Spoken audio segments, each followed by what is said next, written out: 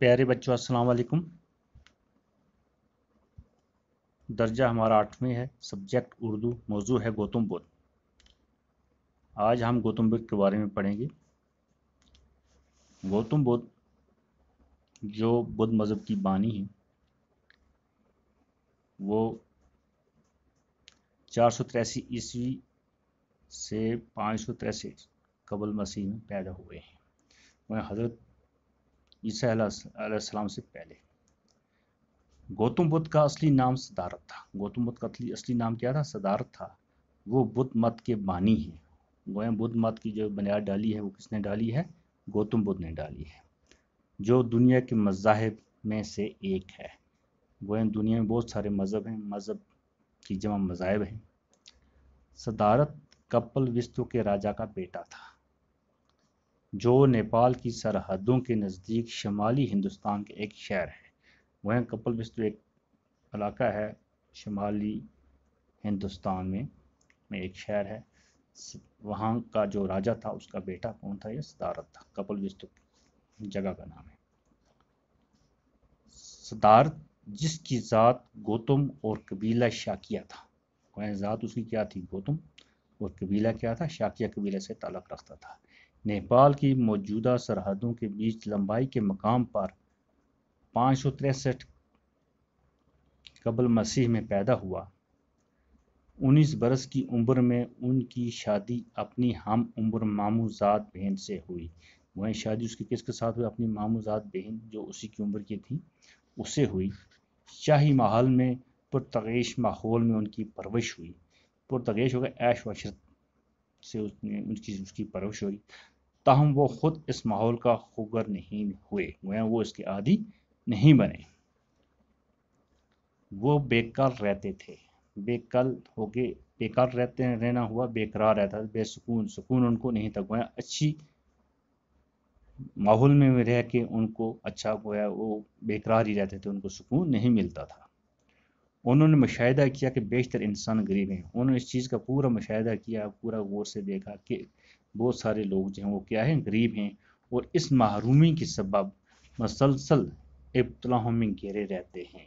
गोया बहुत सारे आजमाइशों में क्या होते हैं, वो घेरे रहते हैं। गोया पैसे हो के भी वो क्या होते हैं, बहुत सारी आजमाइशों में घेरे रहते हैं।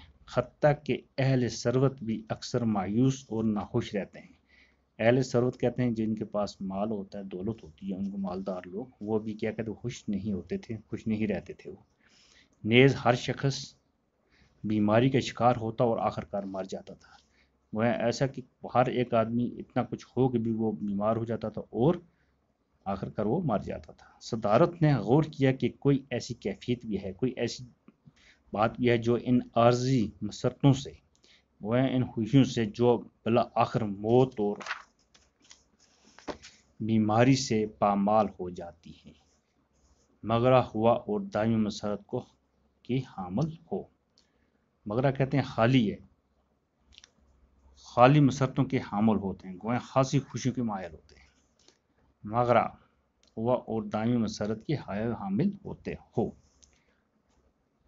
उनतीस बरस की उम्र में गौतम ने अपनी अजदवाजी ज़िंदगी से किनारा कशी का फैसला किया। गोया उनतीस साल की जब उनकी उम्र हुई उन्होंने गोया अपना घर बार छोड़ अजवाज की ज़िंदगी जो शादी उसने की थी, वो उसने छोड़ दिया वहीं पर घर को और ख़ुद को भी सच की तलाश के लिए वक़ कर दिया गोया खुद निकल गए बाहर सच की तलाश के लिए। वो महल से रवाना हो गए, अपने महल से निकल गए। उन्होंने अपनी बीवी, अपने नौमौलूद बच्चे और तमाम दुनियावी असायात को तर्क कर दिया। असायशात को तरक कर दिया। वो एक वो एक मुफलस योगी बन गए। वह बिल्कुल योगी कहते हैं, मजहबी वर्जिश करने, मजहबी वह वर्जिश करने वाला निकल गया वो। कुछ अरसा उन्होंने इस दौर के मशहूर योगी, उलमा से इलम हासिल किया। उनके अफकार से मकमल आगाही हासिल हो जाने के बाद उन्होंने इंसान की गैर इतमान बख्श मसाइल के अपने हाल वजह किए। यह ख्याल आम है कि इंतहा दर्जे का जहीन सच के रास्ते को हमवार करता है। गौतम ने खुद भी एक सन्यासी बनने की कोशिश की और कई साल वो फाका कशी और ख़ुद अजायती के मरहल से गुजरते रहे। आखिरकार उसे अदराक हुआ। गुजरे ख़ुद आज़ादी के मरहल से गुजरे उनको बहुत आज़ादी मिली, तकलीफ़ें मिली। आखिरकार उसे इतराक हुआ कि जिसम को अजायद देने से जहन में अब हाम पैदा होता है। गोया जहन ख़राब हो जाता है, जहन में परेशानी बन जाती है। इसलिए ये रियाजत उन्हें सच की गरबत न दे सके।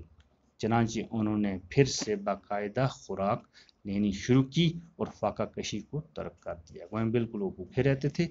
और फिर वो उन्होंने क्या किया फाका कशी को क्या किया तर्क किया, फिर वो खुराक उन्होंने शुरू की। यहाँ तक ये हमारा पहला वीडियो, हम दूसरी वीडियो में इसके बाद पढ़ेंगे। बाकी बस सलाम।